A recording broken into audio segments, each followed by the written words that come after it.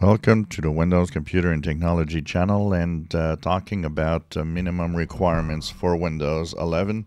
Two things to point out here and also a change that has come to the Canary build that I'm running here 26063. So first of all, we did say there's a slight modification to the minimum requirements for Windows 11 to run 24H2.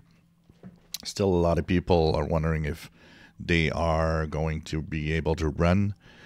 Um, you know, the, the easiest thing to say is that if your PC is less than 12 years old, 13 years old, uh, pretty much you are safe for unsupported hardware. So, uh, nope, there's no problem there. Um, it's really old CPUs that are affected by this change. Um, and, you know, I don't think much of anything. I, am pretty much surprised if anybody is running Windows 11 on a CPU that is that old. And at some point, you have to put a cutoff point. As for the 24H2, also, a lot of people are asking me, yeah, but for 24H2, will there be a, um, um, if I'm unsupported, will I get the update automatically? Remember, unsupported hardware does not get new versions automatic. You got to download and install it yourself. It's been like that since day one, and it will stay like that. It's Microsoft's way of just you know saying no. If you want to uh, to run unsupported, you have to uh, you know install it yourself. And the reason why is simple. It needs to check if you have minimum requirements before it actually tells you there's a new version, so you don't pass the test, and so it's not pushed. If it was pushed, um, you know, they probably wouldn't make a difference between unsupported and supported hardware.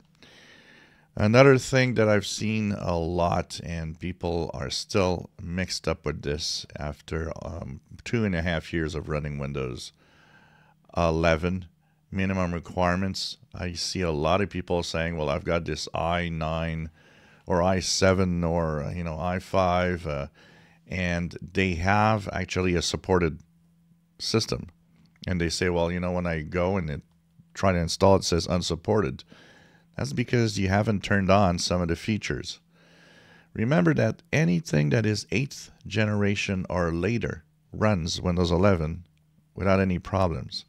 But if you have, for example, one of the comments today was i7 uh, and uh, the uh, CPU was a 9500 something.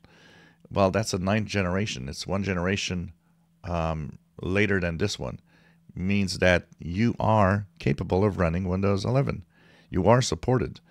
If you're not, it's because some systems don't have the TPM uh, on by default, and that will prevent you from actually updating. So, anybody with an 8 generation or later, and if you right click on your task on your start menu, go into the task manager, click on CPU.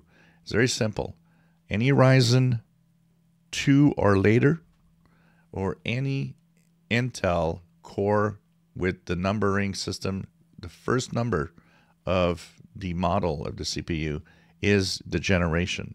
Starts with an 8, 8 generation, you're okay. 9, 10, 11, and so on. Um, those that are 7 or earlier, so 72 something or you know 60 or and so on, you can still run it unsupported, but you have to use a little trick either with Rufus or you can install it from the image. Microsoft's image will actually work uh, unsupported, but um, Rufus will just remove all the checks and compatibility checks, and you can continue on. So um, remember that it's if you have a eight generation or later, um, or if your Ryzen is fairly new, you are running Windows 11. It's just that your motherboard, the TPM, hasn't been turned on. Uh, a lot of people had to go into their motherboards and turn on the uh, TPM functionality. Some did automatically because they had a um, UEFI BIOS update, but um, a lot of people are still mixed up with this. Uh, remember, 8 generation or later, yes, you're compatible. And last but not least, in the build that I have now, uh, they have added the pop count uh, block for people that are not uh, that don't have you know SSE 4.2. Uh, which once again is extremely old. So um, you know, no one I think is affected. Um, I don't think many people were running Windows 11 on such old hardware. So don't worry about that. And once again, if you're unsupported, you will need to download 24H2 manually, uh, and and that's always been the case.